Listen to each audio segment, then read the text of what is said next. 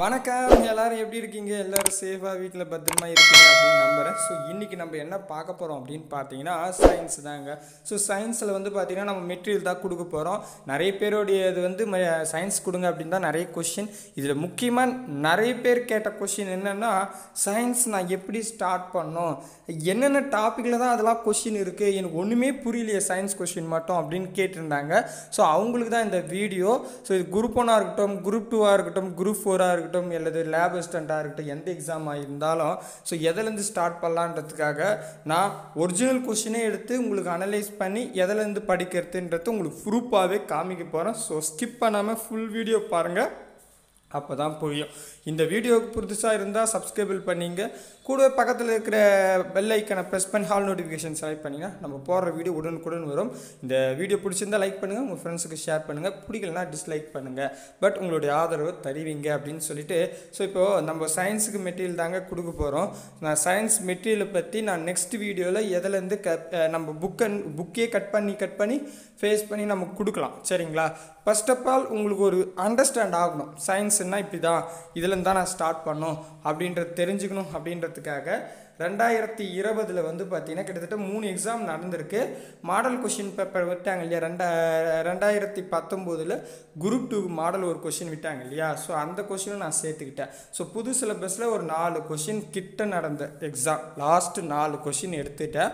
So இது இதுக்கு மட்டும் இல்லை நீங்கள் ரன் இதை இதை நான் இப்போ சொல்லிட்டேன்னா இந்த டாபிக்லாம் ரெண்டாயிரத்தி பத்தொம்போது குரூப் ஒன் கொஷின் எடுத்து பாருங்களேன். அதுலேயும் சேமாக தான் இருக்கும். இதெல்லாம் இம்பார்ட்டன்ட் டாபிக் இப்படி தான் படிக்கணுங்க.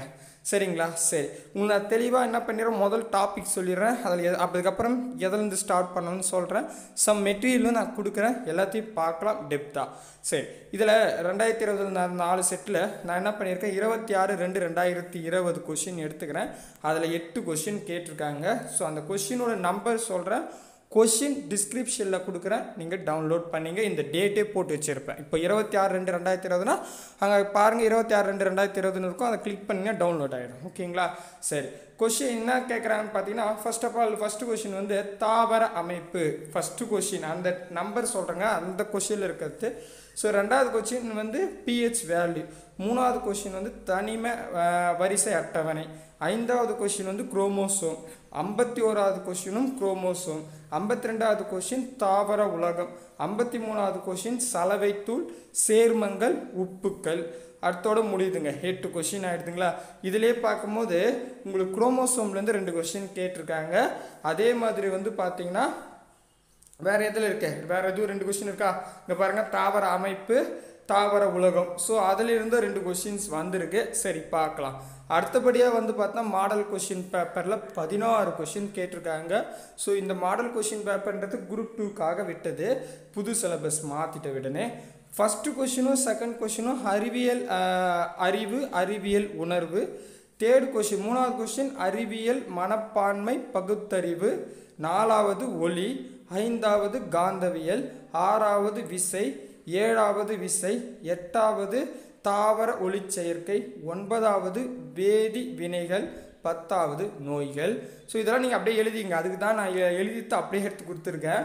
பதினோராவது கொஷின் தாவர உலகம் பூஞ்சைகள். பன்னிரெண்டாவது கொஷின் நோய் தொற்று. பதிமூணாவது கொஷின் சுரப்பிகள். பதினாலாவது கொஷின் தாவர உலகம் விலங்குலகம் ஒப்பிடுதல். பதினைந்தாவது கொஷின் உலோகம் அலோகம். பதினாறாவது கொஷின் மரபணு. சரிங்களா? ஸோ இதுதான். அடுத்தது வந்து பார்த்தீங்கன்னா நாலு மூணு ரெண்டாயிரத்தி இருபதில் நடந்த எக்ஸாமுடைய கொஷின் இதுவும் டிஸ்கிரிப்ஷனில் கொடுத்துருப்பேன். இந்த டேட்டோடு இருக்கும். டவுன்லோட் பண்ணிக்கங்க. இதில் எட்டு கொஷின் கேட்டிருக்காங்க. ஸோ அடுத்து அதே மாதிரி பார்த்தா ஃபஸ்ட்லேயும் உங்களுக்கு பார்த்தீங்கன்னா சொல்லியிருப்பேன் எட்டு கொஷின் கேட்டிருக்காங்க. சரிங்களா? ஸோ எட்டு எட்டு கொஷின் கேட்குறாங்க அப்படின்றது பார்த்தா இதில் வந்து பார்த்தீங்கன்னா ஃபஸ்ட்டு கொஷின் வந்து தாவர உலகம் நீரில் மதப்பயிர் பற்றி கேட்டிருக்காங்க. ரெண்டாவது வந்து அமிலம் காரம் உப்பு. மூணாவது வந்து உப்புக்கள். அடுத்தது வந்து நாலாவது நாற்பத்தி எட்டாவது குரோமோசோம் நாற்பத்தி ஒன்பதாவது குரோமோசோம்கள். ஸோ இந்த குரோமோசோம்கள் அடிக்கடி வருது பார்த்துங்க. ஐம்பதாவது வந்து தாவரம் விலங்கு இருவாயிடம். ஐம்பத்தி ரெண்டாவது நியூட்டன் விதி ஐம்பத்தி ஒன்றாவது மின் மின்னணுவியல். அடுத்தது பதினாலு ஒன்று ரெண்டாயிரத்தி இருபதில் நடந்த எக்ஸாம் கொஷின் இது எத்தனை கொஷின் கேட்டிருக்காங்க அப்படின்னு பார்த்தா நிறைய இருக்குது சரிங்களா? ஸோ ஃபஸ்ட்டு வந்து மின்னணுவியல் ரெண்டாவது ஒளி மூணாவது விசை நான்காவது சுற்றுச்சூழல் ஐந்தாவது தாவர உலகம் ஆறாவது உணவு சங்கிலி ஐம்பத்தி ஒன்றாவது அமிலம் ஐம்பத்தி ரெண்டாவது அமிலம் இதுவும் அமிலம் காரம் உப்புலன்னு தான் கேட்டிருக்காங்க. ஐம்பத்தி மூணாவது உண உணவியல் ஐம்பத்தி நாலாவது வெப்பவியல் ஐம்பத்தி ஐந்தாவது ஒளி ஐம்பத்தி ஆறாவது நோய் ஐம்பத்தி ஏழாவது செல் ஐம்பத்தி எட்டாவது தாவர உலகம் ஐம்பத்தி ஒன்பதாவது சோடியன் அயன். ஸோ இவ்வளோ தாங்க ஸோ இத்தனை கொஷின் பார்த்தீங்கன்னா ஒன்று ரெண்டு மூணு நாலு அஞ்சு ஆறு ஏழு ஏழு எட்டு ஒன்பது பத்து பதினொன்று பன்னெண்டு பதிமூணு பதினாலு பதினஞ்சு கொஷின் வரையும் கேட்டிருக்காங்க. ஸோ பார்த்துக்குங்க. அப்போ மினிமம் எட்டுலேருந்து மேக்ஸிமம் பதினஞ்சு கொ- பதினாறு கொஷின் வரைக்கும் கேட்குறாங்க நம்ம சயின்ஸ் டாப்பிக்கில் இருந்து. சரி சார் இதெல்லாம் ஓகே இப்போ இந்த நம்பர்ஸ்லாம் நான் பார்த்து எழுதிக்கிட்டேன். இப்போ நான் எதுலேருந்து ஸ்டார்ட் பண்ணலாம் அப்படின்னு பார்த்தீங்கன்னா இந்த கொஷினை பேஸ் பண்ணி அனலைஸே பண்ணியிருக்கேன். இங்கே பார்த்தீங்கன்னா ஃபர்ஸ்ட் ஆஃப் ஆல் தாவர தாவர அமைப்புன்னு ஒரு டாபிக் எடுத்துக்கிறேன். இந்த தாவர அமைப்பு ரொம்ப ரொம்ப இம்பார்ட்டன்ட்ங்க முதல் படிக்க ஸ்டார்ட் பண்ணுறவங்க இப்போ நான் சொல்கிற மூணு டாப்பிக்லேருந்து ஸ்டார்ட் பண்ணிக்கோங்க. அதுக்கான மெட்டீரியலும் நான் தரேன். அதில் வந்து இருபத்தி ஆறு ரெண்டு ரெண்டாயிரத்தி இருபது வந்து பார்த்தீங்கன்னா அந்த எக்ஸாமில் வந்து பார்த்தா ஃபஸ்ட்டு கொஷினும் ஐம்பத்தி ரெண்டாவது கொஷினும் ரெண்டு கொஷின் தாவர அமைப்பில் கேட்டிருக்காங்க. சரிங்களா? அதுக்கப்புறம் மாடல் கொஷின் பேப்பர் குரூப் டூக்கு விட்டதில் வந்து எட்டாவது கொஷின் பதினோராவது கொஷின் பதினாலாவது கொஷின் ஸோ மூணு கொஷின் கேட்டிருக்காங்க. அதுக்கு அடுத்தபடியாக வந்து பார்த்தீங்கன்னா நாலு மூணு ரெண்டாயிரத்தி இருபதில் வந்து பார்த்தீங்கன்னா மொதல் கொஷினும் ஐம்பதாவது கொஷினும் ரெண்டு கொஷின் கேட்டிருக்காங்க. நான் பதினாலு ஒன்று ரெண்டாயிரத்தி இருபதில் பார்த்தா அஞ்சாவது கொஷினும் ஐம்பத்தி எட்டாவது கொஷினும் ரெண்டு கொஷின் கேட்டிருக்காங்க. இப்போ நீங்களே பாருங்கள் எல்லா எக்ஸாம்லேயுமே இப்போ நம்ம நாலு எக்ஸாம் எடுத்திருக்கோம். நீங்கள் வேற ஏதாச்சும் கொஷின் கூட எடுத்து நீங்கள் அனலைஸ் பண்ணி பாருங்களேன். கன்ஃபார்மாக தாவர உலகத்தில் இருந்து ரெண்டு கொஷின் இருக்கும். அப்போ நீங்கள் படிக்க ஸ்டார்ட் பண்ணுறவங்க வந்து உங்கள் மூணு டாபிக் சொல்கிறேன் அந்த மூணு டாப்பிக்கில் எதில் வேணாலும் நீங்கள் முதல்ல ஸ்டார்ட் பண்ணுறீங்க ஆனால் இந்த இந்த டாபிக் கம்ப்ளீட் பண்ணிடுங்கன்னு தான் நான் சொல்ல வரேன். ஸோ ப்ரூஃபோடையே சொல்லிட்டேன் நம்பரும் சொல்லிட்டேன். நான் ஏன்னா கட் அண்ட் பேஸ்ட் பண்ணி சொல்கிறத விட உங்களுக்கு ஏன்னா நம்ம எப்படி நோட்ஸ் கொடுக்க போகிறோம் அதில் வந்து உங்களுக்கு கரெக்டாக இருக்கும். நான் அதுக்கு முன்னாடியே நீங்கள் செக் பண்ணுறதுக்காக உங்களுக்கு நான் முன்னாடியே கொடுத்துட்றேன். ஃப்யூச்சரில் நம்ம நோட்ஸ் கொடுத்தா உங்களுக்கு ஈஸியாக இருக்கும். நான் தாவர உலகம்னு சொன்னாமல் இல்லை தாவர உலகம் இம்பார்ட்டன் ஆச்சு அப்படின்னு நீங்கள் இது பண்ணிப்பீங்க இல்லையா? அதுக்காக தான் நீங்கள் பார்க்குற வேண்டியவங்களும் நீங்கள் செக் பண்ணி பார்த்துங்க. கொஷினும் பிடிஎஃபாக டிஸ்கிரிப்ஷனில் இருக்குது அடுத்தது குரோமோசோம் அடிக்கடி நானே சொன்னேன் குரோமோசோம் வந்து எங்கே பார்த்தாலும் இருக்குது அப்படின்னு. ஸோ இதில் வந்து பார்த்தீங்கன்னா இந்த டாப்பிக்கு நீங்கள் இம்பார்ட்டன்ட் கொடுத்தா படிக்கணும். விஎஸ்ஓ இது வந்து இருபத்தி ஆறு ரெண்டு ரெண்டாயிரத்தி இருபதில் நடந்தது. அதில் பார்த்தீங்கன்னா அஞ்சாவது கொஷினும் ஐம்பத்தி ஓராவது கொஷினுன்னு ரெண்டு கொஷின் கேட்டிருக்காங்க. மாடல் கொஷின் பேப்பரில் ஒரே ஒரு கொஷின் கேட்டிருக்காங்க.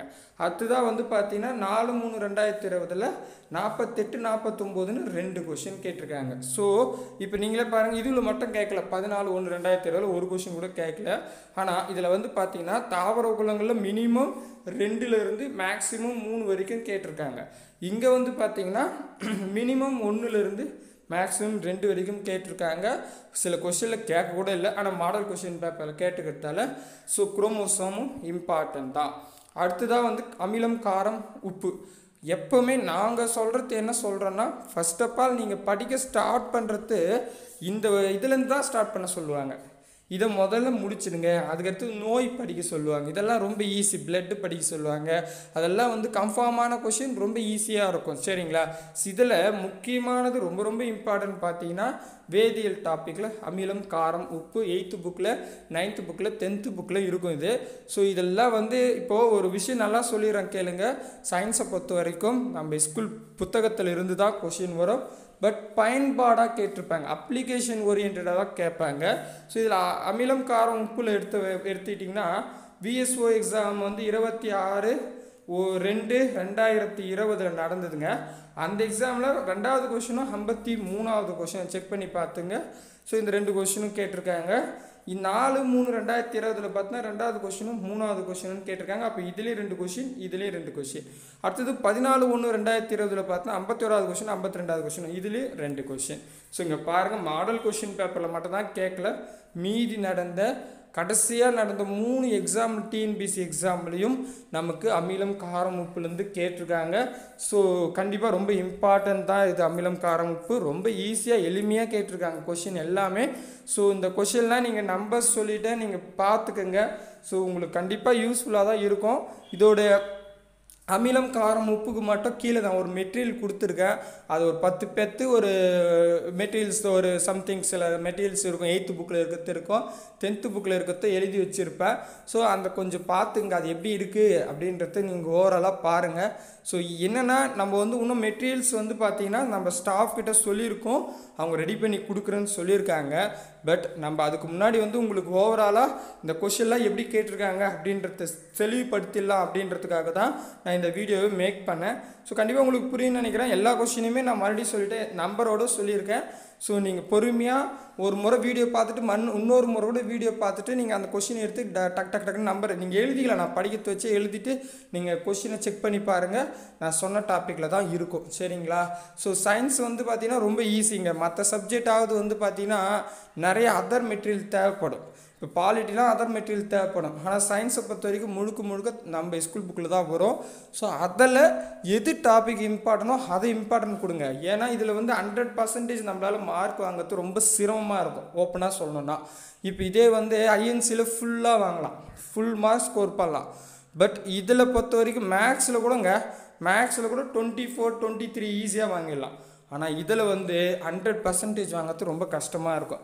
ஏன்னா சிலதுலாம் வந்து மேக்ஸ் மாதிரி கேட்டுருப்பாங்க அதுக்கு வந்து நம்ம அட்டை டு அட்டை படிக்கிற மாதிரி வரும். ஏன்னா சிலபஸ் மொத்தமே கொடுத்துட்ருப்பாங்க ஆனால் முக்கியமான விஷயம் என்னென்னா நம்ம ஸ்கூல் புக்கு தாண்டி வராது. அதுதான் ரொம்ப இம்பார்ட்டன்ட் விஷயம். அப்போது ஸ்கூல் புக்கிலேருந்து தாண்டி வராதுன்னா அதில் இம்பார்ட்டன் இம்பார்ட்டன்ட் ஏன்னா எட்டுலேருந்து பதினஞ்சு கொஷின் வரைக்கும் கேட்குறாங்க ஸோ சராசரியாக ஒரு பத்து கொஷின் கேட்குறாங்கன்னா அதில் வந்து நம்ம இந்த மாதிரி இம்பார்ட்டன்ட் டாபிக் இப்போ இப்போ பார்த்தீங்கன்னா இதிலே நம்ம பார்த்துட்டோம் எத்தனை டாபிக் உங்களுக்கு மூணே மூணு டாபிக் தான் கொடுத்தேன். இந்த மூணு டாப்பிக்கில் ஆறு கொஷின்ஸ் வருது. கரெக்டுங்களா ஸோ நமக்கு ஆறு கொஷின் வருது. ஓகேங்களா? ஸோ மூணே மூணு டாபிக் அப்போ என்ன பண்ணோம்? இதை இம்பார்ட்டன்ட் கொடுத்து படிக்கிறேன் ஏன்னா நமக்கு ஆறு கொஷின் வருது. ஆறு கூட வேணாங்க. அப்ராக்சிமேட்லி அஞ்சு வருதுனாவே பெரிய விஷயம் தானே? ஏன்னா அங்கே கேட்குறது எத்தனை கொஷின் கேட்குறாங்க எட்டுலேருந்து பதினஞ்சு கொஷின் வரைக்கும் கேட்குறாங்க ஸோ நமக்கு எட்டாக இருக்கட்டும் பதினஞ்சாக இருக்கட்டும். ம்? அதில் அஞ்சு கொஷின் வரத்துன்னும் போது மூணே மூணு டாபிக் ரொம்ப இது தான் ஸோ கண்டிப்பாக நான் அடுத்த வீடியோவிலேயே நான் இந்த சயின்ஸுக்கான வீடியோ போடும்போது கண்டிப்பாக இந்த மூணுத்துக்கான ஒவ்வொரு மெட்டீரியலாக குரோமோசோம் அப்புறம் தாவர உலகங்கள் அதுக்கப்புறம் அமிலம் காரம் உப்புக்கு மெர்ஜி பண்ணி ஸ்கூல் புக்கில் இருக்கிற எங்கெங்கெல்லாம் அமிலம் காரம் உப்பு இருக்கோ அதை ஃபுல்லாகவே ஜாயின் பண்ணி நம்ம ஒரு புக்காக கொடுக்கலாம் அப்படின்னு ஐடியாவில் இருக்கோம். பட் நீங்கள் கொஞ்சம் சப்போர்ட் பண்ணோம் வேறு ஒன்றும் இல்லை. ஏன்னா வச்சிங்களேன் இப்போ மேக்ஸ்னால் நானே எடுக்கிறது நானாக பார்த்து நானே எடுத்து போட்டுப்பேன் என் பிரதர் சிஸ்டருக்கு தேவைப்படுன்னு பட் இதெல்லாம் வந்து பார்த்தீங்கன்னா நீங்கள் கமெண்ட்ஸும் உங்களுடைய லைக்ஸை பொறுத்து தான் அவங்க செஞ்சு கொடுப்பாங்க. ஆல்ரெடி பார்த்தா நம்ம டாப்பர் கிட்டேருந்து கூட ஒரு நோட்ஸ் வாங்கி கொடுத்துருந்தோம் பிளட்டுக்கு ஸோ அது மாதிரி அவர்கிட்ட கூட நான் இதை ரெக்வெஸ்ட் பண்ணலாம். இந்த மூணு டாபிக் கொஞ்சம் கொடுத்துருங்க அப்படின்னு கேட்கலாம். அவர் எழுதி வச்சுருப்பாரு. அதன் மூலம் அதை கூட நம்ம ஃபோட்டோ எடுத்து நம்ம ஹேண்ட் ஹேண்ட் ரைட்டிங்லேயே இருக்குமே இருக்கட்டுமே அப்படியே நம்ம கொடுத்துடலாம். கரெக்ட்டுங்களா? என்னுடைய ஐடியாவும் அதான் இருக்குது நானும் கேட்கலான்னு பார்க்குறேன். பட் இந்த வீடியோ மேக் பண்ணிவிட்டு இந்த வீடியோவில் இத்தனை பேர் நமக்கு சப்போர்ட் பண்ணுறாங்க இவ்வளோ பேர் கேட்குறாங்க சார் அப்படின்னு சொன்னோன்னா நம்மளுடைய டாப்பர்ஸும் கொடுக்கறதுக்கு ஈஸியாக கொடுப்பாரு. நமக்கு நிறைய பேர் கேட்குறாங்க அப்படின்றதுக்காக தான். ஸோ அதை மட்டும் நீங்கள் கொஞ்சம் கமாண்டில் சொல்லிவிடுங்க ஸோ ஏன்னா உங்களுடைய வேல்யூபிள் கமாண்ட் ரொம்ப இம்பார்ட்டன்ட் நிறைய பேர் பார்க்குறாங்க அதை. பார்த்துட்டு தான் நமக்கு நோட்ஸ் கொடுக்குறாங்க. நான் என்னுடைய திங்கிங் என்னென்னா இந்த மூணு தாவர உலகமும் குரோமோசோமோ அதே மாதிரி அமிலம் காரம் உப்பு இந்த மூணுத்துக்குமே வந்து நம்ம டாப்பர்கிட்ட வாங்கி கொடுத்தா நல்லாயிருக்கும். ஏன்னா அவங்க ஃபுல்லாக கவர் பண்ணிட்டுருப்பாங்க. சிக்ஸ்த்துலேருந்து டுவெல்த் வரைக்கும் கவர் பண்ணி ஏன்னா நம்ம பிளட்டு கொடுத்தாங்க. அதுவும் பார்த்தோன்னா சிக்ஸ்த்துலேருந்து டுவெல்த் வரைக்கும் இருக்கிற எல்லாத்துலேயுமே ரத்தம்னு இருக்கிற எல்லாத்தையுமே எழுதி வச்சுருக்காங்க. ஒரு பதினோரு பேஜ் ஸோ அதே மாதிரி இதுவும் எழுதிட்டாங்கன்னா நமக்கு இதை தாண்டி கொஷின் வராது இல்லையா? ஸோ அதுக்காக நான் அதை கேட்டிருக்கேன். ஸோ கண்டிப்பாக வந்து கொடுப்பார். எனக்கு நம்பிக்கை இருக்குது ஸோ இன்னும் நமக்கு இந்த சப்போர்ட்டோடு சொல்லலான்றதுக்காக தான் ஓகேங்களா? ஸோ எல்லோரும் சேஃபாக வீட்டில் பத்திரமா இருங்க. நான் சொன்ன உங்களுக்கு புரியும்னு நினைக்கிறேன் நான் இவ்வளோ விஷயம் சயின்ஸுக்கு சொன்னது. ஸோ புரியலனா நீங்கள் கமெண்டில் கேளுங்க. என்னடா சொல்கிறேன் என்னடா வளருகின்றதுன்னு சொல்லலாம். ஸோ இன்னொரு வீடியோவில் சந்திக்கலாம். பாய் பிரதர் அண்ட் சிஸ்டர் சேஃபாக இருங்க எல்லாரும். டைமுக்கு சாப்பிடுங்க.